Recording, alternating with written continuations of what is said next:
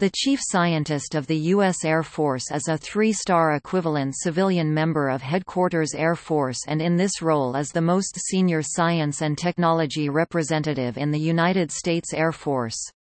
The current Chief Scientist of the United States Air Force is Dr. Richard Joseph.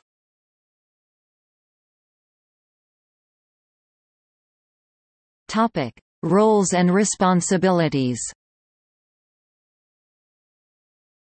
The Chief Scientist of the United States Air Force has several roles and responsibilities, including serves as Chief Science and Technology Advisor to the Chief of Staff of the Air Force and Secretary of the U.S. Air Force provides assessments on a wide range of scientific and technical issues affecting the Air Force mission identifies and analyzes technical issues and brings them to the attention of Air Force leaders, and interacts with other air staff principals, operational commanders, combatant commands, acquisition, and science and technology communities to address cross-organizational technical issues and solutions.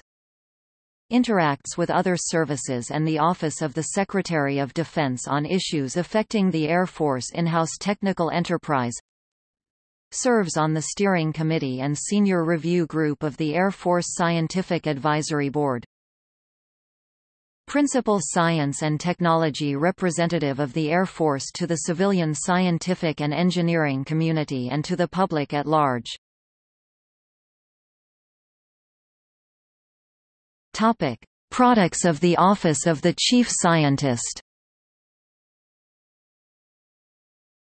The Office of the Chief Scientist has conducted several strategic studies including Technology Horizons Energy Horizons Cyber Vision 2025, summarized in the Armed Forces Journal Global Horizons